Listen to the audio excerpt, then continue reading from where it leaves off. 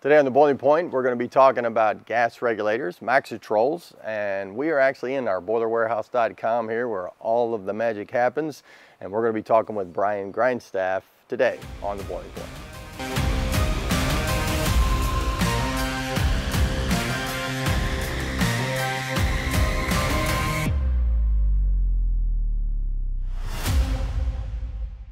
Welcome to the Boiling Point. I am Richie Ware and this is Brian Grinestaff. Now Brian's with our boilerwarehouse.com. If you haven't done so, make sure you check out our new social media with boilerwarehouse.com. How's that going, man?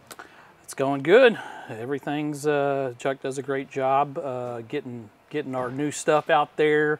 Uh, we're always, you know, just cranking through products, trying to trying to educate, trying to just let every people know what's what's going on. What's out there? It's a little yep. more parts focused yep. um, is what that social media is for. And there's some other good data out there that Chuck is uh, putting out. So make sure you check out, get, get all involved with the Instagram and the Facebook and the LinkedIn. So yep. uh, we're keeping all that stuff uh, up to date. You still can get all of your videos on YouTube. So that's where you'll get a lot of your videos just on YouTube. So today, Brian, we're talking about Maxitrol.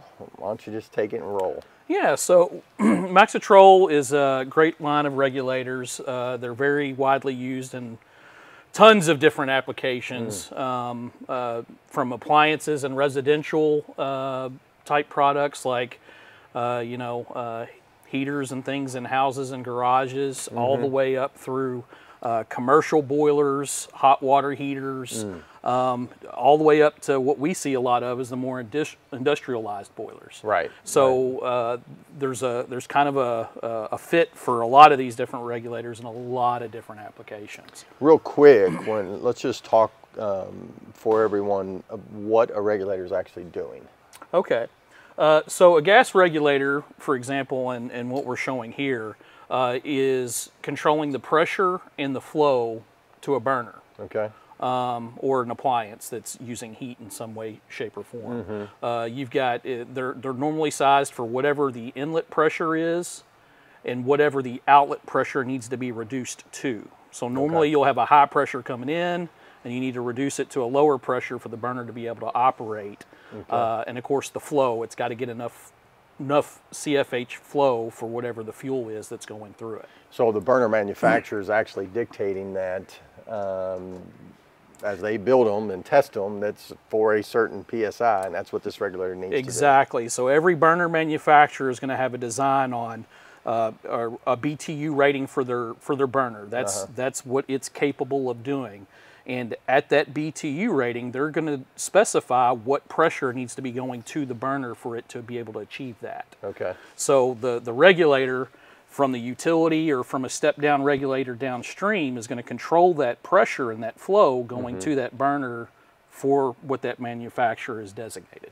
How is it that um, you can get the pressure uh, that's coming in and then take it down? How's this? How's it do that?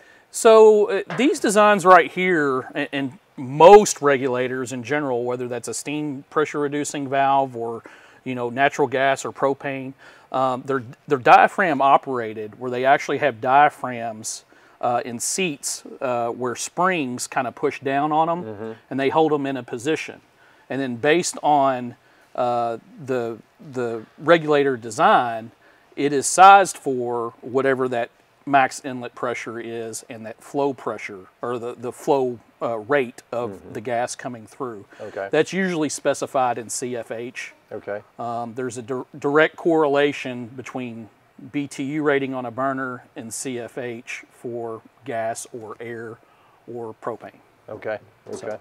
All right. Cool.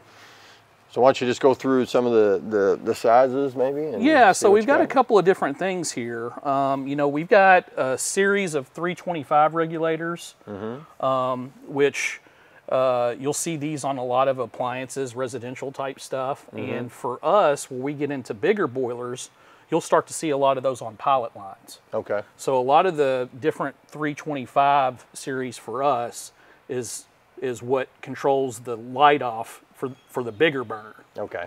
Um, gotcha. So you'll see you'll see these right here. like these are these are 10 psi max regulators. Mm -hmm. What's pictured here are pretty low pressure regulators. Mm -hmm. um, these are 10 psi. We've got some R series and RS series regulators here that are uh, they're about a half pound. Oh, okay. Uh, they've actually got exposure ratings that if you put more pressure on them, they're rated for that. But their normal operating range for these are about a half psi, okay. and these bigger ones are about five to 10 psi, depending on the design for these. Okay. So uh, this is like a normal appliance type regulator.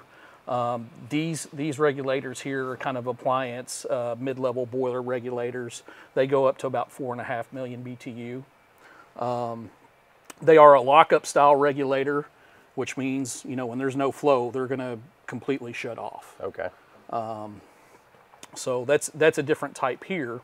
And then over here we actually have a zero governor, which this is kind of like an air mixing regulator.